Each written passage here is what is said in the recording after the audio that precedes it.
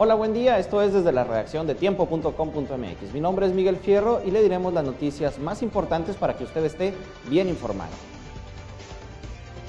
La noche de ayer, sujetos con armas dispararon contra tres hombres, dejaron a dos sin vidas de ellos en calles de la colonia Granjas, al norte de la ciudad de Chihuahua. Más tarde, la tercera la tercer víctima falleció en el hospital. Los, los, hechos ocurrieron en la calle Nogal y Velázquez de León, donde sujetos a bordo de un vehículo negro llegaron al sitio y dispararon en contra de las víctimas en el interior de un domicilio. En el sitio quedaron por lo menos 20 casquillos percutidos de los calibres .223, estos que utilizan las armas AR-15, y también del calibre .40, de acuerdo con los primeros reportes. En otra información, el delegado del PRI en Chihuahua, Fernando Moreno Peña, dejará esta entidad y ahora se va a desempeñar en el mismo cargo, pero en el estado de Veracruz.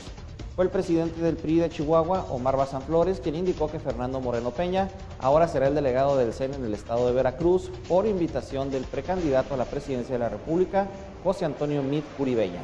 Bazán Flores indicó que tanto el dirigente nacional del PRI como el ahora precandidato a la presidencia de la República decidieron enviar a Moreno a Veracruz, reconociendo su desempeño y su labor al frente del PRI en Chihuahua, Chihuahua.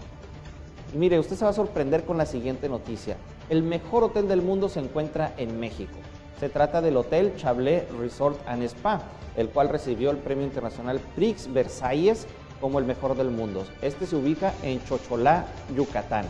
El premio Prix Versailles es otorgado por la Unión Internacional de Arquitectos y la Organización de las Naciones Unidas para la Educación, la Ciencia y la Cultura, la UNESCO, quienes reconocieron al hotel mexicano por su unión entre la cultura maya y las grandes casas coloniales. El Chabler Resort fue creado por los mexicanos Jorge Borja y Paulina Morán. Cuenta con 38 suites dentro de la sede. Esto fue desde la redacción de tiempo.com.mx con lo más actual, lo más importante y algo interesante. Yo soy Miguel Fierro, síganos en nuestras redes sociales. Hasta la próxima.